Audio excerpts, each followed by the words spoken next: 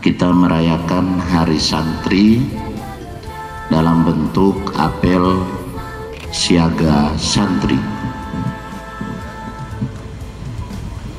Dalam rangka Hari Santri ini cukup banyak event yang dilaksanakan dan dipusatkan di Jawa Timur.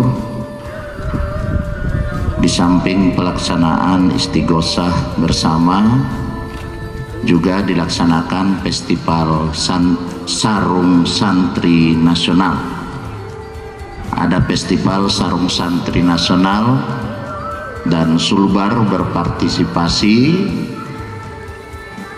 Kami sudah mengirimkan lima jenis sarung mandar.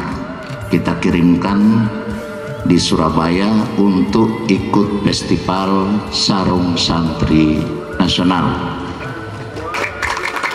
Patut kita banggakan karena di samping sarung kita kirimkan, kita buatkan narasinya.